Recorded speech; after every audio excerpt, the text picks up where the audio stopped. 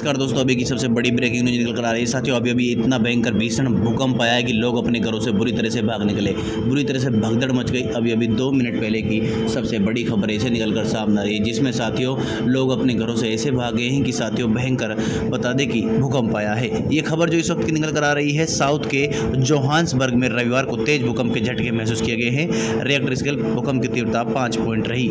F report के मुताबिक भूकंप का केंद्र जोहान्सबर्ग के सत्रह किलोमीटर दूर है। वहीं इसकी गहराई 10 किलोमीटर की थी। ये साउथ अफ्रीका के समय के मुताबिक सुबह दो बजकर अड़तीस मिनट पर आया था। साथ ही बताया जा रहा है कि भूकंप जैसे आया, घरों में बुरी तरह से दरारें पड़ गई।